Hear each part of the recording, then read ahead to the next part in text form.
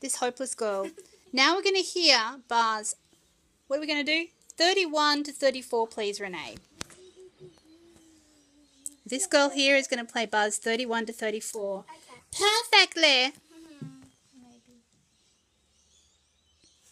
Go.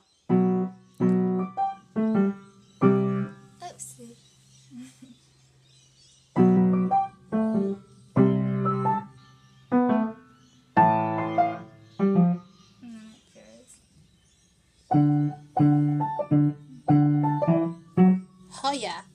Thank you, Renee. Now, tell me, what was the one correction that you needed to do in bar 31?